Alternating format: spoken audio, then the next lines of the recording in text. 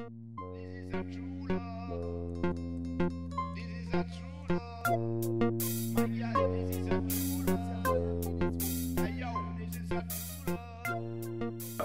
Leute. Ähm, Hi. Heute habe ich mal Markus bei mir. Wir haben uns das letzte Mal äh, auf dem Potluck kennengelernt, äh, beim Rohkosttreffen in Würzburg. Und ja, jetzt ist wieder ein Rohkosttreffen in Würzburg gewesen und jetzt wollten wir halt mal schauen. Ähm, Bin ich halt mal hergefahren Genau. und jetzt haben wir einfach mal so zusammen spontan ein Video machen wollen genau, über das Thema Sport. Ja. Ne? genau, Ja. wir haben uns das Thema Sport ausgesucht und wollten einfach mal euch ein paar Tipps geben, wie man das gut in den Alltag, denke ich, einfach integrieren kann, weil viele ja, ich denke, So- so viele sind schon, Probleme haben da, ja, genau, genau, ja. viele sind schon bereit dazu, Sport zu machen und wissen aber einfach nicht, wie sie es dann gut umsetzen Genau. können, denke ich. Wie sie doch die Zeit finden können dazu. Genau, ja. Da wollten wir einfach mal ein Video machen, genau. Ja.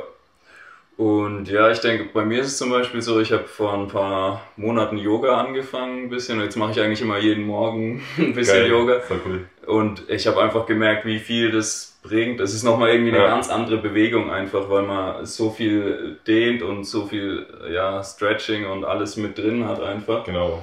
Ja. Und ähm, Ist auch ein bisschen Kraft dabei und Ja, genau. was Meditatives, ne? Ja. Stimmt, ja. Und so mache ich es. Ich denke, also ich Genau. meditiere auch immer einfach jeden Tag und dann meistens mache ich so, dass ich ein bisschen ja. Yoga frühs mache, halbe Stunde, Stunde und dann. Genau. Ja, genau. Genau, man kann ja dann einfach vor seiner Arbeit oder seiner Schule, Uni einfach ein bisschen früher aufstehen und sagen, okay, ich mache jetzt noch ein bisschen Sport vorher, Ja, sich einen Wecker vorher stellen, ne? genau.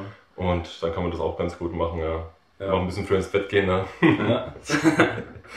ja. Genau. Ich denke, es ist halt auch einfach wichtig, sich jeden Tag einfach ein bisschen zu bewegen. Es Ja. muss ja gar nicht viel auch, sein und genau. dann soll es halt auch einfach Spaß machen, denke ich. Richtig, Solange die ja. Bewegung Spaß macht. Ich Ja. denke halt, Bewegung ist auch immer so ein bisschen Ausdruck und äh, durch die, ich, bei mir ist es so, wenn ich den Sport mache, das mir einfach Spaß macht, der mir wirklich Ja. gefällt, dann kriege ich ja. dadurch Energie. Dann habe ich danach zehnmal mehr Power, andere Sachen zu machen oder auch Fall, wenn ja. ich lerne, Genau. dann, dann ist es einfach für mich ein perfekter Ausgleich. So. Anders kann ich nicht so viel lernen oder so viel ja, Absolut. andere Sachen machen. Ja. Genau. Ich finde auch, ähm, wenn der Sport einem richtig Spaß macht, dann macht es einem auch mal nichts aus, wenn man jetzt einfach mal äh, so schlechte Tage hat, wenn es mal nicht so gut klappt mit dem Sport, ähm, dann solange es Spaß macht, macht man halt trotzdem irgendwie weiter, Ja. ne? weil man das gerne macht einfach für sich. Und Genau. ich denke, da gibt es auch für jeden Menschen eine geeignete Sportart. Also es gibt ja total viele Sportarten. Ja. Also es gibt ja, weiß nicht, für die eher ruhigen Typen gibt es ja, keine Ahnung, oder Yoga oder sowas. Oder wissen was, ja, meditativ ist, ne? Und dann gibt es ja noch so Sportarten, die man so richtig, äh, ja, die so richtig Energie äh, äh, brauchen sozusagen, wo man richtig lospowern kann. Ja. Sowas wie, keine Ahnung, Joggen, Schwimmen, Ja, Rennen, genau. was weiß ich, zum. Auspowern. Ja. Genau. Boxen. Also ich denke, da gibt es für jeden Typen im. Boxen, Kickboxen oder so, genau. Genau. Also ich denke, da gibt es für jeden Typen eine richtige Sportart. Also man muss die einfach nur finden, denke ich. Ja. Ne? Und ähm, ich denke, da hat jeder irgendwo so eine Sportart, wo er sagt, okay, das, das wollte ich eigentlich schon immer mal ausprobieren. Ne? Ja, das hat mich schon genau. immer mal interessiert. Ich denke, da hat jeder irgendwas. Ja.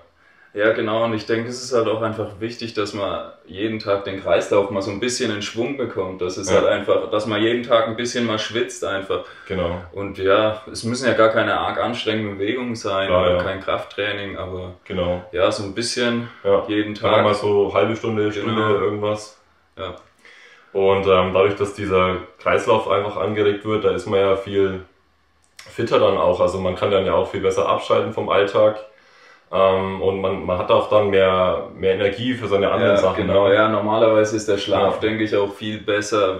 Ich meine, man kennt es ja abends noch Ja. mal irgendwie Sport gemacht und dann danach Ja. bist du platt, äh, fällst befriedigt ins Bett Genau, einfach, richtig, ja, bist richtig, du total und, zufrieden und genau, schon, bist mit der Welt glücklich, ja.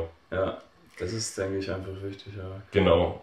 Ähm, ja, vielleicht noch, wie man das so im Alltag noch ganz gut integrieren kann, wenn man also Sport machen möchte, aber nicht so die Zeit dafür findet oder wenn man nicht weiß, wie man das so integrieren kann in den Alltag.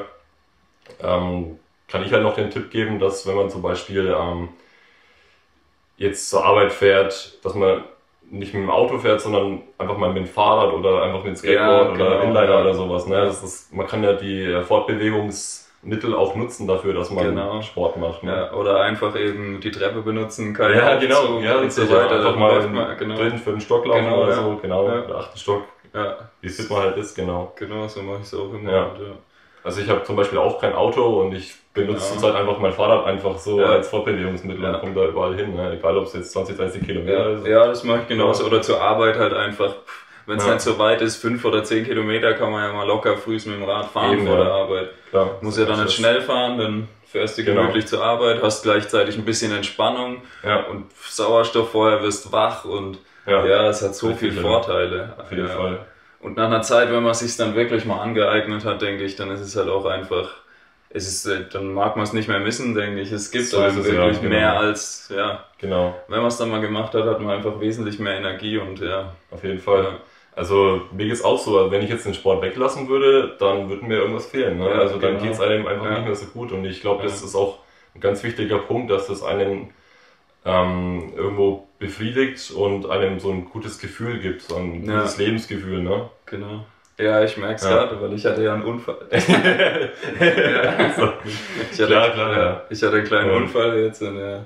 Kannst auch keinen Sport machen zur Zeit, ne? Genau, und deswegen habe ich jetzt halt seit einer Woche, ich mache dann halt so ein bisschen was, was ich ohne den Fuß machen kann, so ein bisschen Dehnübung, ein paar Kraftübungen für den Oberkörper oder so, aber ja, vermisse ich schon, das ist dann schon. oder so, ne? Genau. Nee. Ja, ja, ja geht schon schlecht. echt. Ja, am besten. Vielleicht ähm, was ganz gut ist zu beachten, ist, dass man, ähm, wenn man jetzt so sagt, ich äh, wollte diese Sportart schon immer mal ausprobieren, ich mache das jetzt mal, dass man halt erstmal ein bisschen langsamer anfängt, ja, genau. sich vielleicht auch mal einen Verein sucht oder Leute, die das ja. können, ne, dass die einem das ja, mal genau. zeigen. Das ist, denke ich, einfach auch noch ein wirklich ja. richtig guter Tipp, sich einfach Motivation zu holen, sich irgendwie richtig, mit motivieren, sich irgendwelche Videos im Internet anschauen. Mhm oder Gibt's einfach sich, viel, genau, genau, oder sich halt ein Umfeld suchen, einen Verein suchen oder ja, irgendwie Leute, sich verbinden mit den Leuten und dann hat man viel mehr Energie gleich, Auf jeden das Fall, dann genau. auch durchzuziehen und dran zu bleiben und ja. ja.